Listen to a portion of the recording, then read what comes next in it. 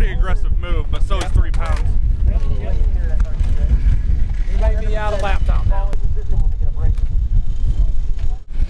So anyway, we got to go to Walmart and get a laptop now.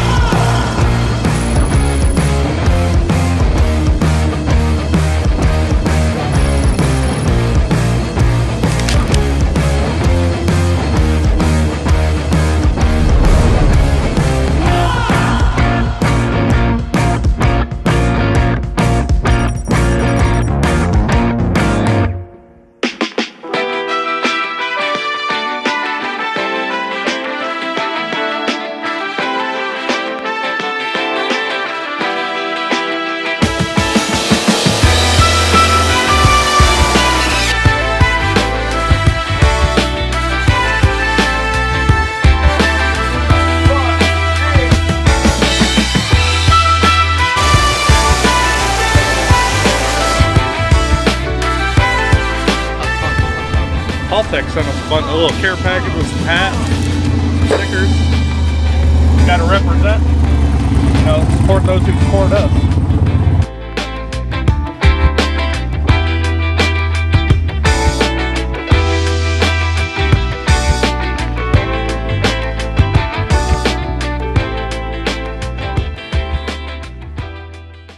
Before we get started, uh, you know, the thing, the process is know where you're at. So you want to document um, not only like where the shocks are at, but check over your tune and have good starting point because especially on these uh, race week type of deals, you get only two or three shots at the track and uh, you got to make them count. So uh, I always go and I document exactly where the shocks are at, compression and extension. If you don't remember my shock video, you always start from full tight and then count backwards. Because a lot of people have had their hands in this car, we're gonna go through the boost controller, go through the timing, um, just go through the whole setup of the car and just get a good baseline.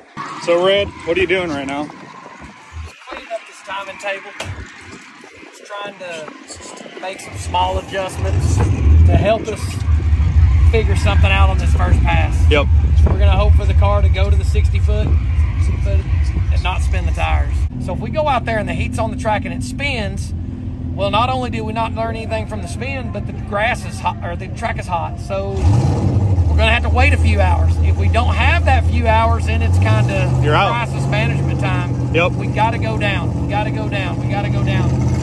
You really got to race your track, and that's literally what'll win that class. And 100%. one like free tip for you guys if you're building a race week car, we're probably giving away too many, too many of our tricks up our sleeve that was always made to Nova go down. But you know, you got a 15 gallon cell that you're driving to the track on, Yep. and most people try to run it empty. Well, if you're showing up to a hot, greasy track and you want it to ride the back tire, Fill you just fill that fuel tank up you know, and that's ballast. It's free. You don't have to bolt anything on, and then when you leave the track, you can go straight to the next track. So. Exactly, uh, exactly. so that's kind of some tips. We'll give you some more along the way, but we definitely want to document what we're doing because uh, I think we got a pretty good ingredient. Usually, we got a pretty good set of ingredients that we use to race race week. So.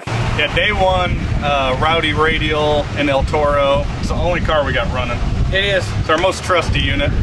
Uh, this car is kind of unique. If you haven't followed the the El Toro series, you should check out our YouTube. But we built it in eight days, and it's literally had almost no love ever since. Like we've done what had to be done on it, but I mean, it's very much It's been used and abused. Yep. It's Even been so- a rental. It's been a rental race week car. Yep.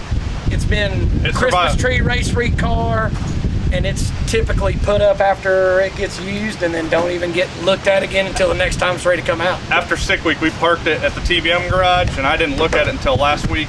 I changed the oil, spark plugs, did a couple of wiring things, and now it's ready to go. We haven't even touched it, raced it since. So cool thing about this week is this car has always been like an index car, kind of like, eh, it's whatever, you know, put in 850 class. But this week, heads up, eighth mile, small tire turbo racing, and that's what me and Red do. I'm So, pumped about the eighth mile deal. Like this thing's never been You- beat on like this You can before. stretch one out pretty good in the eighth mile. You can't get away with some of that stuff in the quarter mile. So very much like the tune in this thing has always been neutered down, low key. I mean, it's only got like 12 degrees of timing in it. So we have like Menscer shocks on it. We got a good turbo. We got the Haltech on it. We got good tires, good suspension. Like this thing has all the ingredients to go really fast. And uh, it's gonna be fun to just kind of play around with it and see where it goes from the beginning of the week to the end of the week. And our Yep. goals are like four seconds, 490s. 499 with a nine with a tailwind would make me happy. But more importantly, we want to win the class. But there's some stiff competition this week. Some guys that have already gone fours. Um, But as you know, race week is as much about survival as It it is. is. going fast. Survival, and then like I said, the northern races, the tracks are a little up and down. Yep. Prep, you may not get at this track what you get at the next track, so And do we're your homework. and we're running a 26 inch radial, which is not great in the heat on a non-radial prep track. True, but- true. So we're gonna be fighting that a little bit, but it's gonna be fun.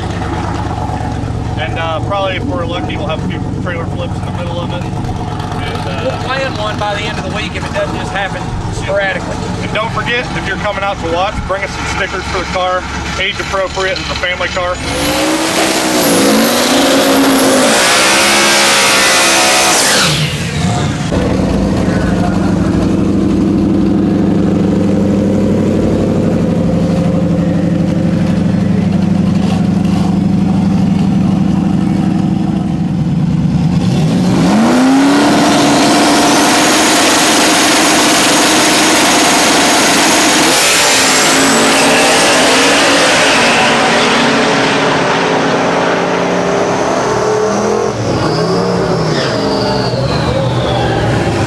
So that was pass one. I really don't know how they even feel right now because I ain't seen the time slip and the scoreboards aren't working here. But the car went down. It was a pretty soft tune-up. I kind of got a number in my head of what I hoped it run, but we'll see. Um, but the main thing is it went down. Went down. We could always pick that thing up. My fear was it was going to spin because it's hot, man. It's hot and the racetrack's greasy. You know what I mean?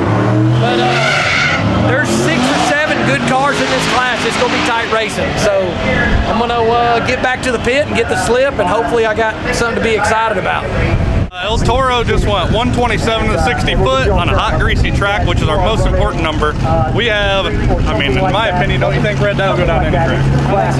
That's pretty decent passing with 535 at 130, almost 132 mile an hour. So that's actually El Toro's personal best eighth mile at almost 6,000 feet of elevation, which is pretty impressive. So it's got a lot to go. We started on setting number one. We got five mapped out, and we can even go more if we need to. We just didn't think it would be this easy, this quick. So we're gonna go right from uh, the second style or the second stage of boost ramp to third, which is a lot more aggressive. So we'll see what it'll take. Should pick it up early.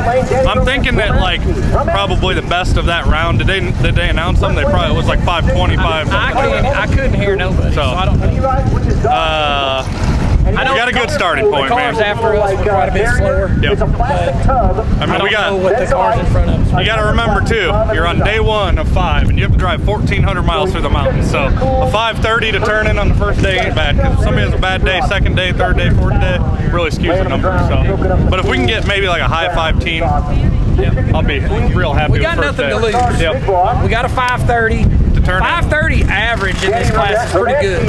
We won it with Andy's car with a 530 average. So um, I think we got nothing to lose. Try one more. Let's see what we our tune-up does for ET, and then go from there. Yep. That's what we'll do. Went 131 mile an hour, and Red's like, man, should have gone a little faster, you know, mile an hour wise and stuff. So we started looking at it, and we decided we're gonna add three pounds on the launch, which is a lot. Um, We're gonna so take a big step.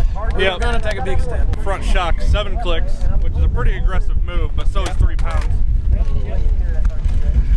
We may be out of laptop now. Oh no. Or might not. Got all those put into the computer system, so I'll have all that once we reboot the system when we get a break. Oh yeah. So go on the left lane, Mustang in the right. Freaking wind. Yeah, give it a minute. Maybe it'll come around.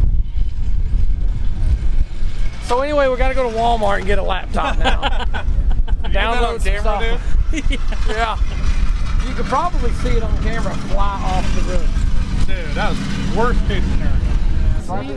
So Tech Tip Tuesday, don't leave your laptop on top of your car when it's windy out, because you're gonna be buying a new Go laptop. down there and get him Blaine, obviously everybody knows Blaine because he just kind of uh, became part of the motion family.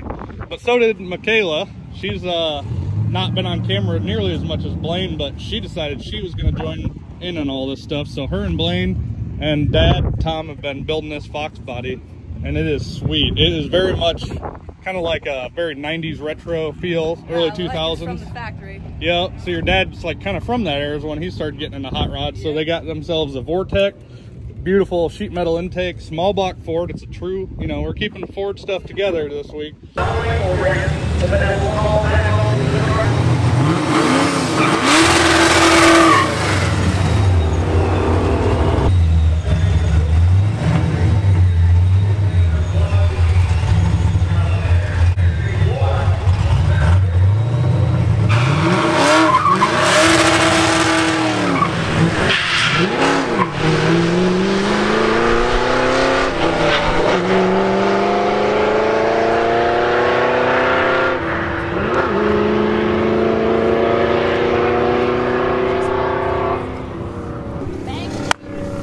What do you think of that, dude? She just like, she was and she's like, oh, maybe I should shift now.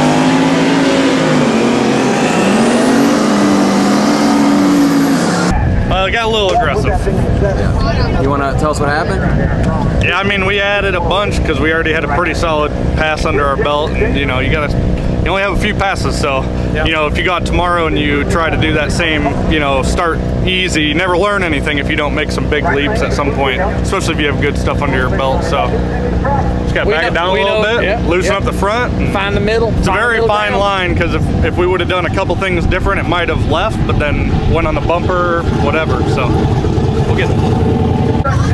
Will, no, no, no. Nice melon.